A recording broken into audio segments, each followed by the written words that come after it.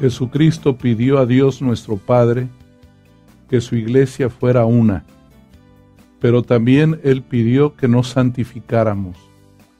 Él le dijo a Dios nuestro Padre, santifícalos en la verdad, tu palabra es la verdad. La iglesia se siente santificada por el Señor. Cristo con el Padre le envían el Espíritu Santo que la asiste, que la santifica.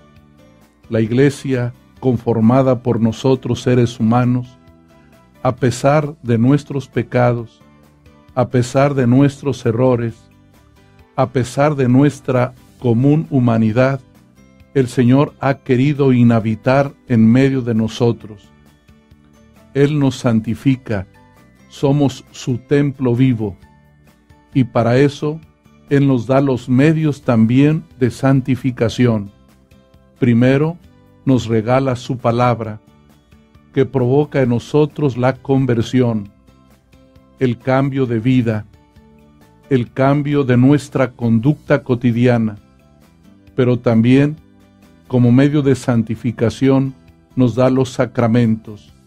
Cuando tú te reconcilias, te santificas cuando vas a la Eucaristía y comulgas, el Señor te santifica, pero también el Señor ha querido santificarnos por medio de las obras de caridad.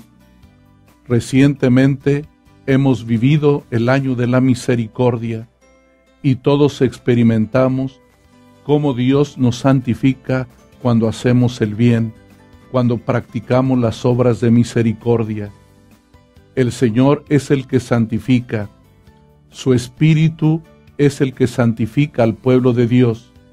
Tú y yo, aunque pecadores, recibimos la gracia de santidad del Señor y podemos decir solo por gracia suya que somos el pueblo santo, que nosotros somos santos porque Dios es santo.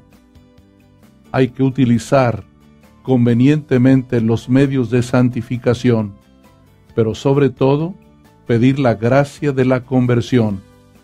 Gracias a Él, la Iglesia cuenta con innumerables personas, hombres y mujeres, que se han santificado, que los reconocemos como santos.